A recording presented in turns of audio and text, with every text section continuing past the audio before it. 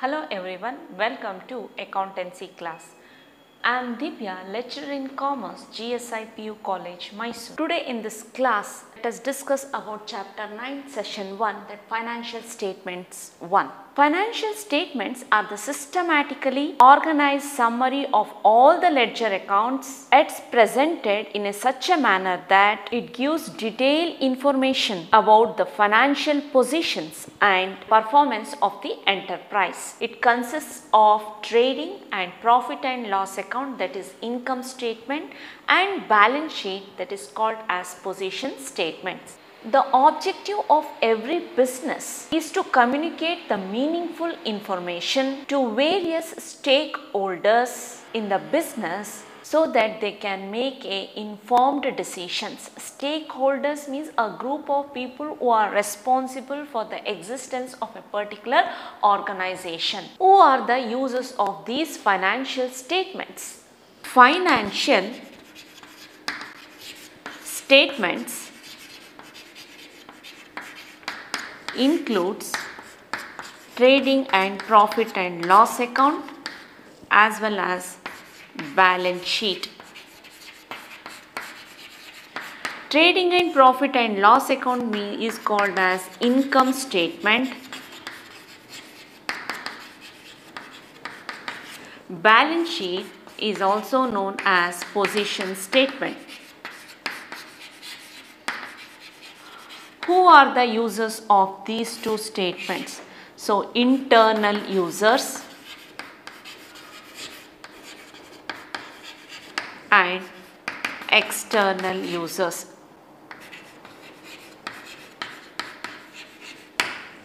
Internal users are owners, employees, whereas external users are government, bank, creditors. Here government means tax department.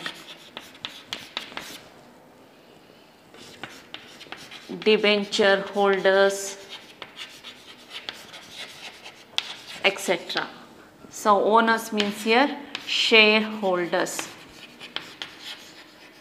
So for example current owners means shareholders. So they are said to be the internal users of financial statement. So why they use these financial statements means to make investment in the business and wealth growth. They like to know the extent of profit in the last accounting period to current accounting period. They are comparing the position of the asset and liabilities of the previous year with the current year. Manager means he is an employee, he is also an internal user. So for a career of an employee, he, he want to know that the company is earning the profit or loss. Financial statement is like their report card and they are interested in information about both profits and financial position. Next one external users that is government. Its role is to regulatory and tries to lay down the rules in the best public interests. Its concerns are that the rights of all the stakeholders are protected. That's why the government levies the tax on the business. Next one bank creditors and debenture holders they are also the external users. Bank is interested in a safety of the principal amount as well as the periodic returns. Bank is interested in adequacy of the profit only as an assurance only as an assurance of the returns of principals and interest amount in time. Next one debenture holders they are also external users. If they are expecting to make investments in the business then they require the information about the profits. They are interested in the information of the past profits and financial positions of the business. Business transactions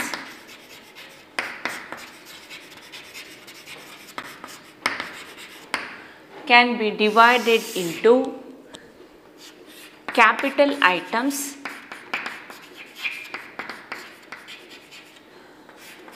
revenue items and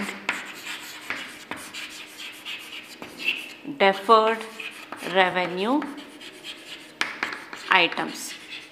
Capital items again it is divided into capital receipt and capital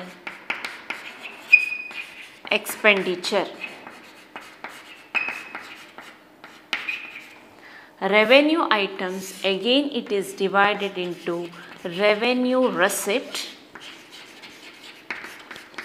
and revenue expenditure.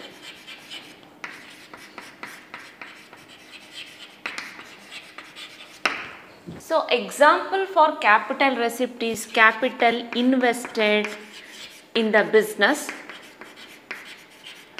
Capital expenditure includes purchase of fixed assets.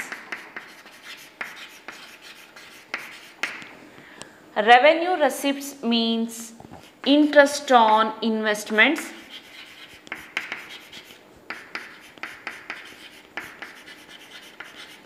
Revenue expenditure means example salary. Deferred revenue items example is advertisement.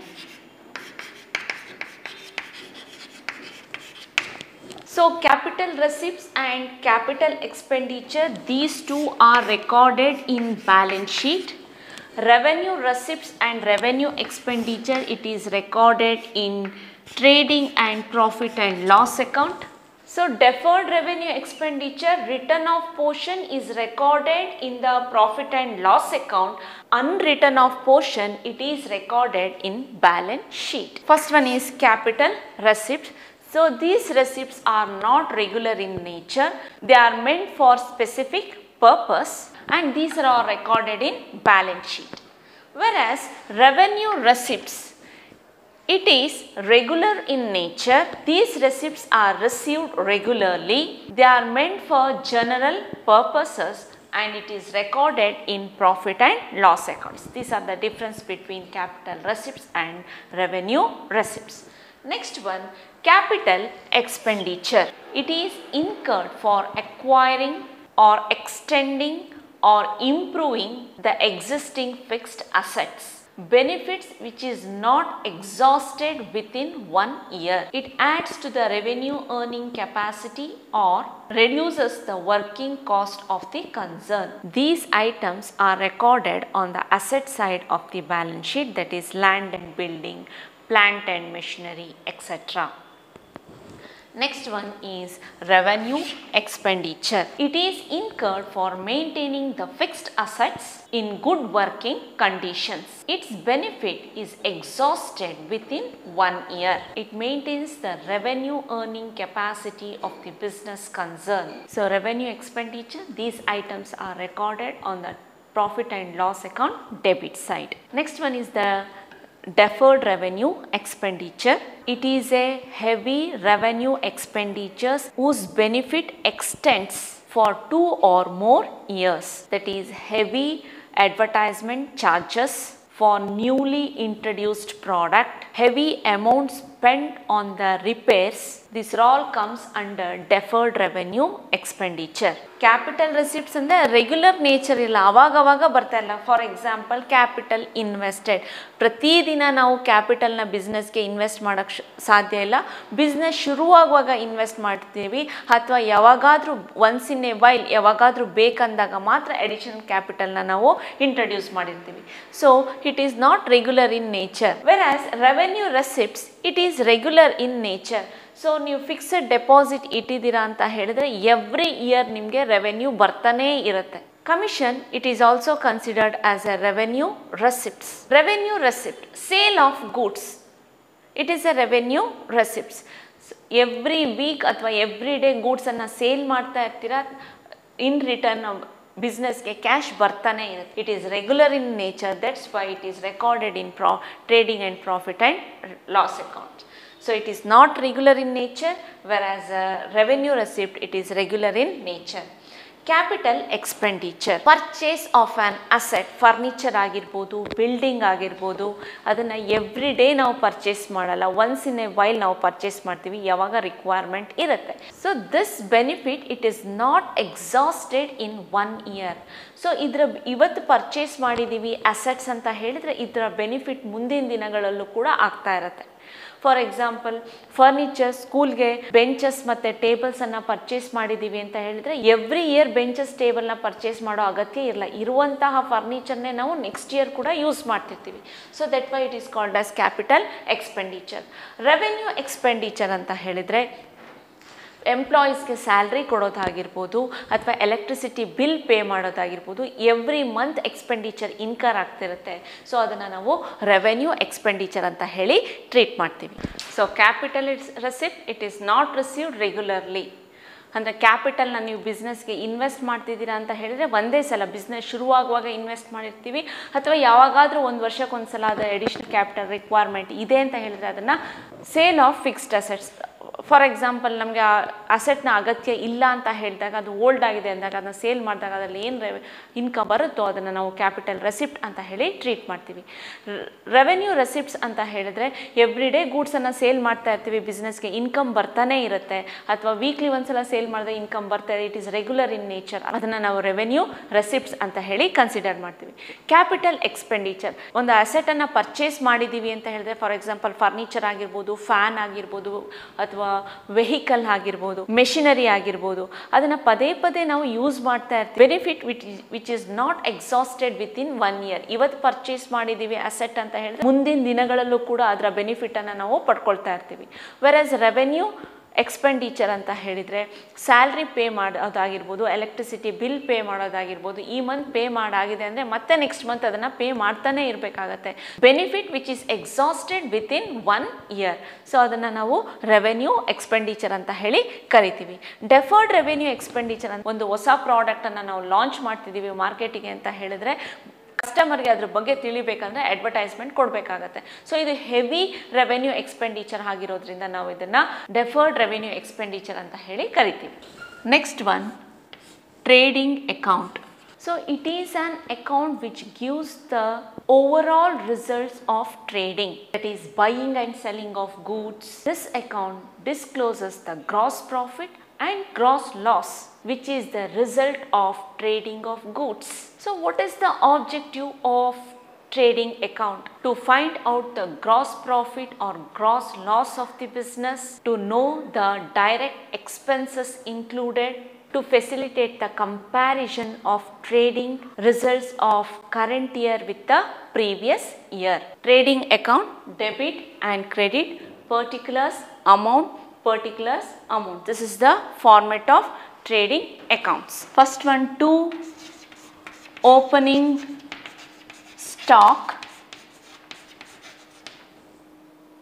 Next one to purchases less purchase return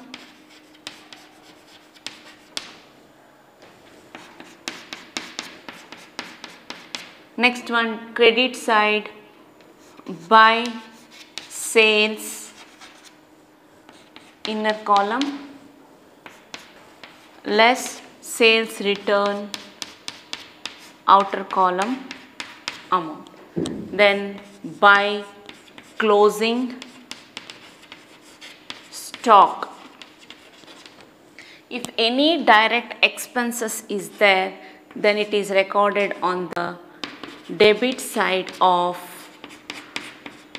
trading account direct expenses includes wages carriage inward freight charges coal gas or water fuel cleaning charges, excise duty, import duty, dock dues, factory rent, manufacturing expenses. This all comes under direct expenses. So opening stock that we already discussed in the first chapter. Opening stock means the value of the stock at the beginning of the year is known as opening stock. Purchases means a goods purchased by a business for production or sale is called as purchases. Purchase return means when the purchase goods is returned back to supplier that is known as purchase return. Next one sales. Goods sold by the business is known as sales. Sales returns means when the customer return back the goods to the business is known as sales return maybe due to damage or wrong supply. Next one closing stock. The value of the stock at the end of the year in the business is known as closing stock. The expenses which are directly related to trading activities are known as direct expenses that is wages paid to a labor that comes under direct expenses. Carriage involving the charges incurred while moving the goods from one place to another place. Freight charges. It is the amount paid to the carriage company for transporting the goods from the place of origin to the place of location is known as freight charges. Next one is excise duty. If any tax on the manufactured goods that is levied at the moment of manufacture rather than at sale is known as excise duty. Import duty means it is a number of different taxes due on the goods purchased from board is known as import duty. So, one more expenses is there that is octroi charges. It is the local taxes levied on certain articles that is known as octroi charges. Next one dock dues that is charges paid to a port by a shipping company while loading as well as unloading goods on dock dues. It is levied by the port authority on coal. So when you total the credit column, if credit amount column is more than the debit amount column then it is profit.